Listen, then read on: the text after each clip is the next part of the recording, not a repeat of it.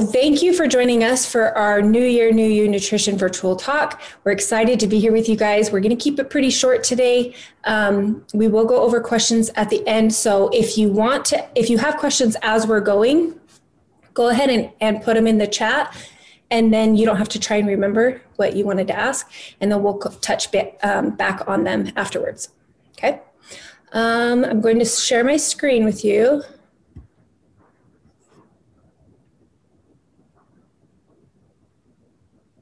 I think it's this one.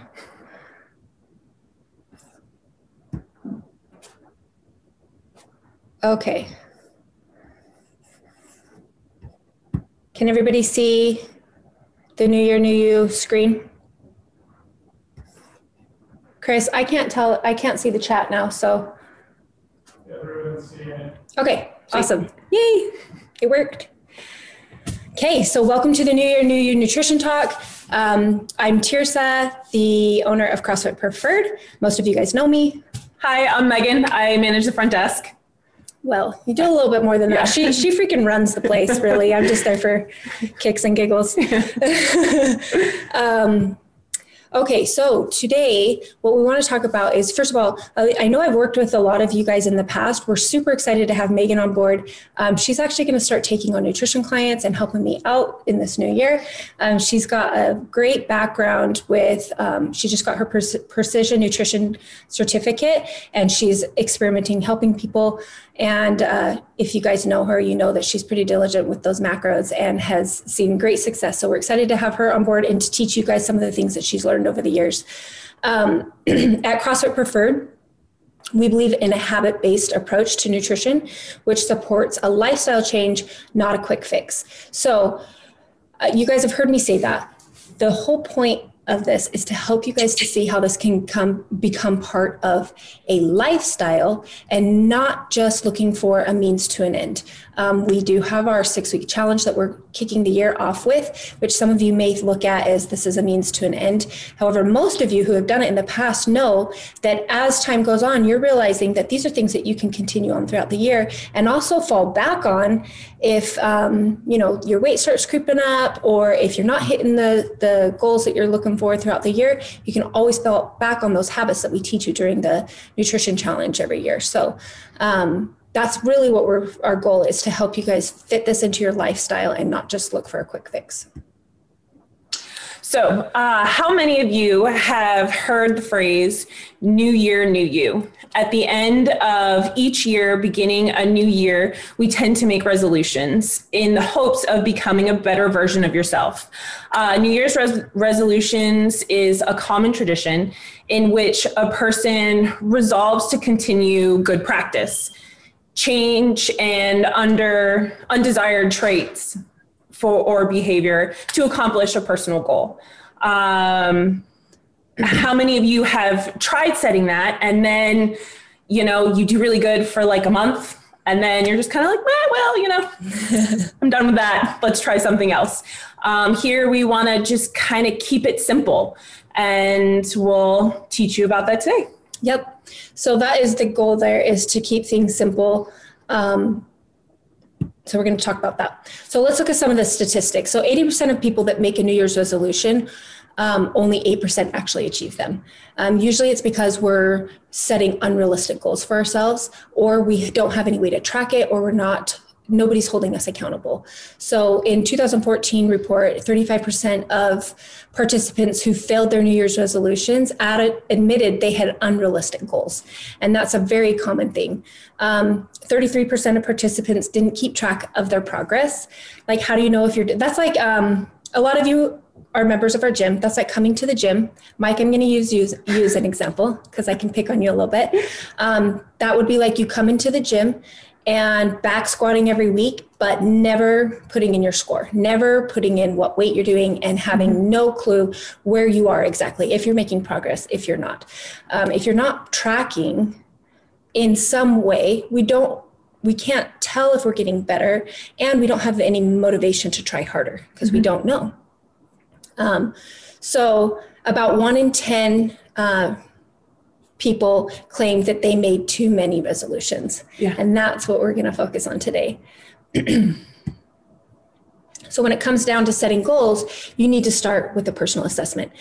Hopefully, you guys downloaded the PDF that goes with this um, class tonight. And if you didn't, it is in that email that I sent out, and you can do it later. Um, but what I want you to do is take a little bit of time to do that assessment that is on the PDF. Um, you don't have to do it right now. Maybe some of you have already done it, but we're going to go over that. Um, so, what does success look like to you? And that's going to be different for everybody. Come this way a little bit. You're kind of out of there. Um, what does that look like to you? And that's a personal question. And what do you want to achieve in this year? Um, remember that we're trying to focus on one thing at a time. So, common personal goals include losing weight, we see that a lot. Um, increasing muscle, um, maybe saving money or accomplishing um, a physical or um, academic goal. Um, there's a lot of different ways to make improvements. The strategy for goal setting begins with the big picture. So you need to think big picture. What is my overall goal? What do I want to accomplish at the end of this year? Um, a year goal is a long time. Yeah. So we suggest if you do have a goal that you want to accomplish at the end of the year, breaking it up into micro goals, setting yourself up for success by having small goals that you're trying to achieve. Mm-hmm. Um, so take a look at the big picture and then break it into smaller components to help you to feel successful. Mm-hmm. Um, so when you break things up into small pieces, we need to be able to measure that and be able to track it. Mm-hmm um, what so think about um, like for me i've had lots of goals in the past. One goal that i'm working on right now is i'm trying to get better at my gymnastics in the gym. I'm trying to get better at my bar muscle ups in particular. So that is my overall goal. Get better at bar muscle ups so that i can do ring muscle ups. My micro goals are to meet with our coach Andy once a week and to do the accessory work that he has given me three times a week so that I can help build the strength that I need for that goal. Now, if all I said was I have a goal to get bar muscle ups, actually, I can give you an example for that. I've had a goal for many years to get ring muscle ups. Have I done anything to get better at ring muscles, muscle ups? No. Yeah. Because I didn't break it up into smaller goals. All I said is I want to get ring muscle ups by the by the time the open comes around. Mm-hmm. Um, but I didn't put a plan in place. Um, so making those little goals and then accomplishing them gives me the confidence that, hey, I'm getting better. So each time I meet with Andy, sometimes it's a little frustrating, but then he reassures me and he says, nope, you're getting better. Mm-hmm. You're better than you were the last time. And then that gives me the confidence to keep going.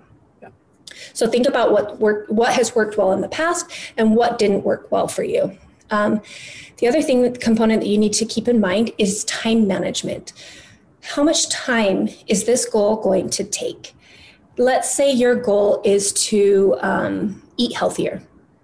So when you think about eat healthier, that's a broad topic, but it takes time to do that. You have to allow time to plan your meals, to grocery shop, and to prep your meals. Mm-hmm. If you don't allow time for those three things, the success rate of reaching that goal of eating healthier is going to drastically drop. Mm-hmm.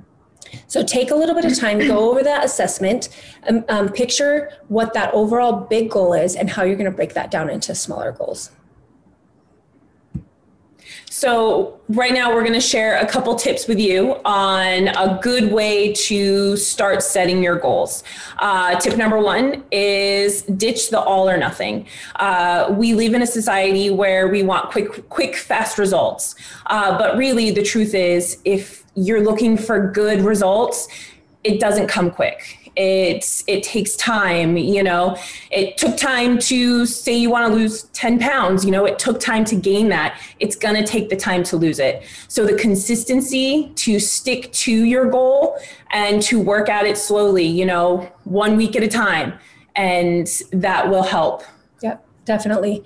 I love that um, that analogy you know mm-hmm. we didn't gain 10 pounds in a day we're not going to lose 10 pounds in a day right um, there's there's likely uh, many of you have, who have tried to make more than one resolution at a time. Mm-hmm. Um, and the fact is, is that when we focus on one changing one thing at a time, we have a much higher success rate, 80% actually mm-hmm. success rate um, in a year. Whereas if we add another thing. So if you're just focusing on two things at a time, that drops down to 35% success rate in a year. Yeah. And by adding a third thing, it drops to 5%. So it's crazy how much harder it is just by just adding one more thing. And that's why we really try and focus on just the one thing at a time. Mm-hmm. Um, so, uh, if you need to focus on one thing at a time, set your to set yourself up for success. But there's many areas that you want to improve on.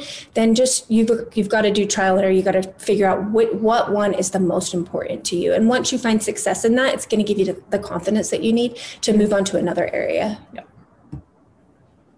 And tip number two, uh, start with a clean slate. Uh, there are likely several goals or resolutions that you've attempted in the past um, or diets or anything like that. You want to forget all those and rethink, reassess, and start new. And then that way, starting new and starting small and consistent will help you reach those goals. Yep. Um, something that I tell people that I meet with, um, nutrition clients, is to throw the word diet out the window. Mm-hmm. I never, I try really hard not to use that word because diet to me um, means a short quick fix. It's yep. it's not sustainable. It's not maintainable. And restriction. Yep. And and by restricting, so uh, I try really hard not to rest- follow a restrictive diet. Mm-hmm. Nothing is off limits. Everything is is um, on the table in moderation. Yep. So um, in fact, two thirds of people that start diets will regain the weight plus some yeah. um, within a year, which is crazy and I've seen that happen. Like before I started macro tracking, before I started nutrition coaching, um, I've told some of you guys this before. We have five kids. I've gained weight, lost weight many times. Yep. Um, and it was the the quick fix that I was looking for to help um, lose the weight. And if I couldn't lose it within a few weeks, I was done. Um, but I yo-yoed for years, mm-hmm. up and down, up and down. I had a very unhealthy relationship with food yep. because of it.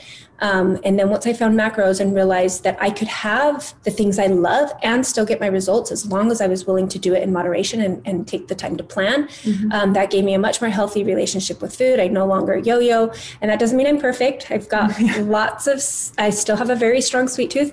I love to bake. I have five kids. We, they bake. And, you know, it's just in the house that I don't follow that 25 gram sugar rule, but, um, no but it means that it's I've made progress and I can view food in a healthier way. Mm-hmm. So give yourself a break, put those negative experiences behind you, um, move forward with a clean slate. Yeah. Um, so a couple things that you can do to help do that is clean your fridge out. We're going to teach you how. Um, so the first thing you're going to do is remove anything that's expired in your fridge. That some of you are like, "Oh, that would not be me." Well, that is me. So because I don't tend I don't tend to take the time to do that. Um, go through, throw anything away in your fridge or freezer that that is expired. That's the best way to get started. And then things kind of I feel like when my fridge is cluttered, yeah. I yeah, like I don't know what to eat, and so then I go to the pantry. Yeah, is kind of my thing. Right. So get those things out of the way. Um, check the sugar content in your foods. So uh, the American Heart Association actually recommends that kids and women eat 25 grams of added sugar or less. I don't know if you guys have looked at a food label lately, but yeah. you can find 25 grams of sugar in one yogurt. Mm-hmm. So, paying attention to the, the amount of sugar you're eating and maybe saving that for the things you really, really love let's say you know 25 grams grams of sugar is unattainable for you. That's there's no way that's going to happen. Mm-hmm. you don't have to throw in the towel. Set a more realistic goal. Maybe it's 50 grams. And then try using an app to track your food and see where you're naturally landing. And then look for ways to eliminate the foods that are a little bit higher in sugar or replace them with things that are similar mm-hmm. but just have lower sugar.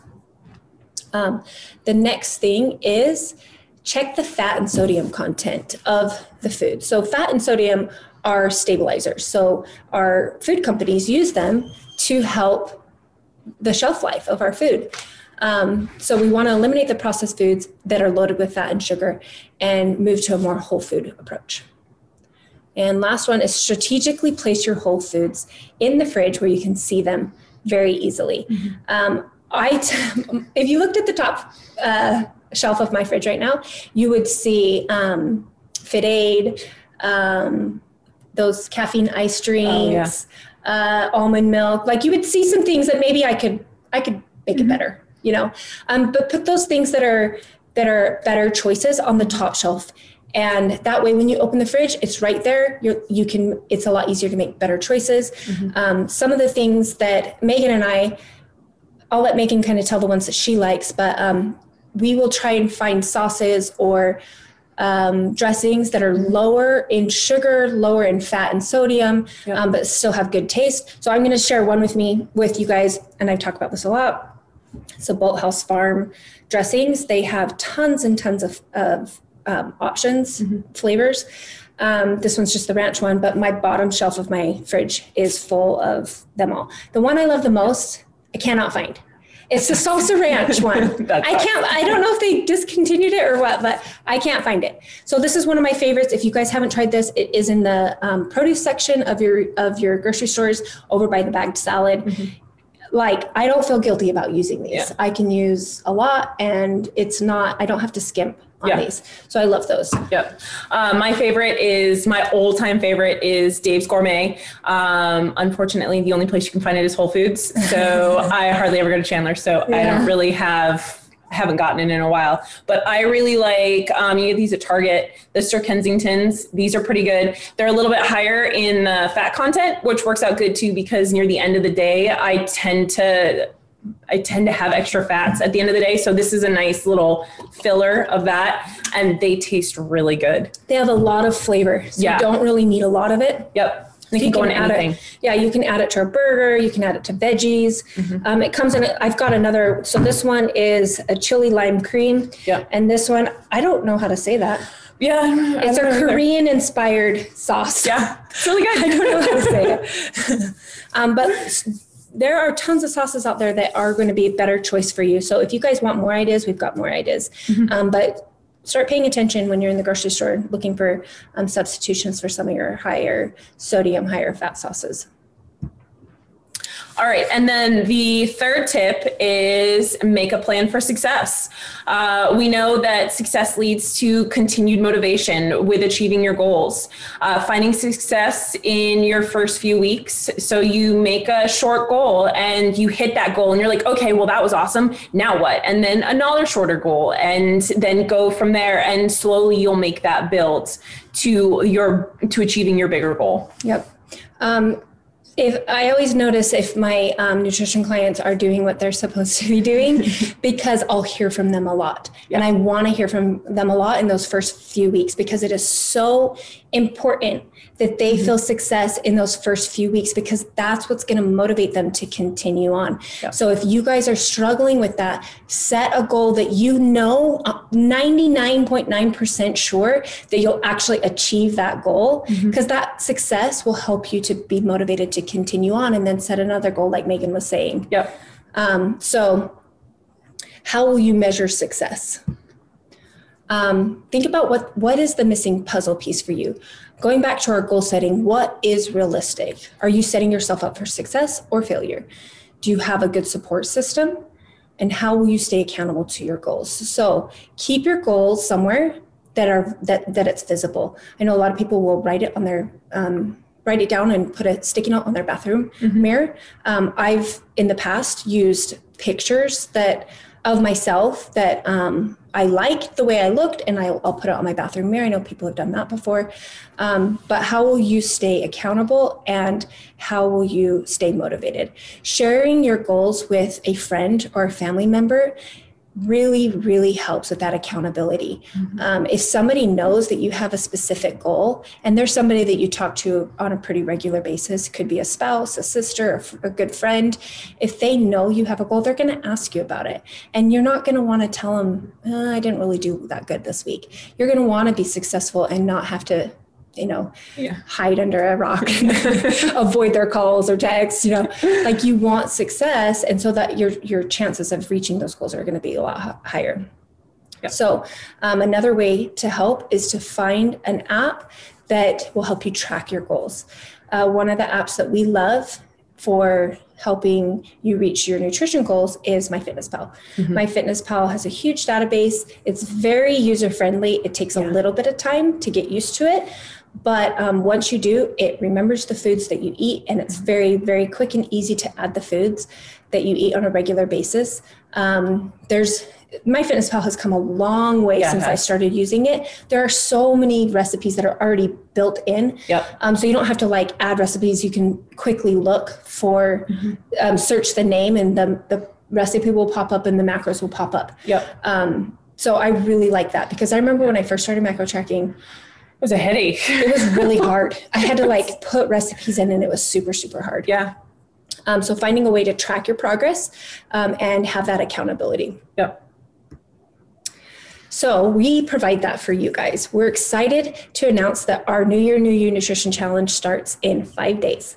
Um, some of you have already signed up and some of you haven't. If you are thinking about kickstarting your nutrition program and making a change in this new year, this is the perfect way to get started.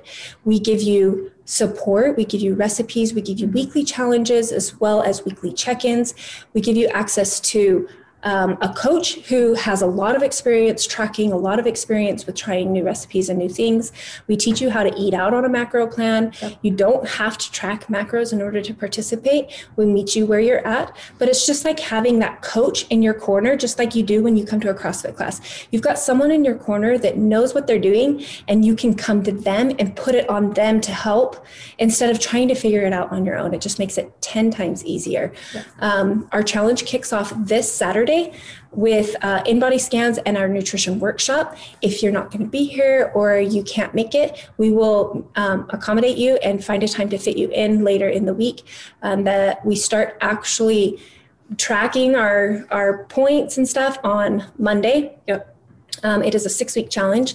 So it ends Valentine's Day weekend, which is kind of cool. Oh, that's cool. Like that. so you guys are going to looking hot for yeah. Valentine's Day. Um, but what we do is we focus more on healthy habits and less on just yep. what we're eating. We're trying to get better at um, overall. So how much sleep are you getting? How much exercise are you getting? Are you, how much sugar are you eating? Are you eating fruits and vegetables? Are you mm-hmm. drinking water? Those kinds of things. Yep. And we use an app to track all those points. So it makes it really easy to be able to check off those things things throughout a day. You just open your app and say yes or no to all those things, and then it keeps track of all your points for you. We have three ways to win. So your chances are pretty good. Yeah. Um, we do a body scan at the beginning and at the end. So we're have we have an overall body composition winner. We have an overall points winner. And like I said, we put you guys on a team. So we encourage that team camaraderie. So we have an overall teams winner as well. This year we will have four teams.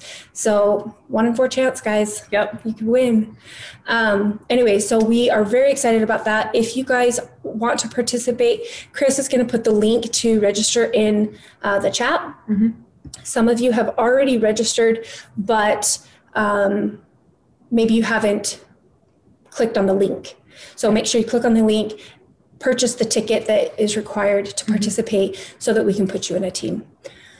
And we are going to recap those three um, tips that we were giving you. You want to go over that? Yeah. So for the first tip, uh, ditch the all or nothing mentality. Focus on one thing at a time. Uh, tip two, start with a clean slate. Let go of the past uh, and give yourself a fresh start.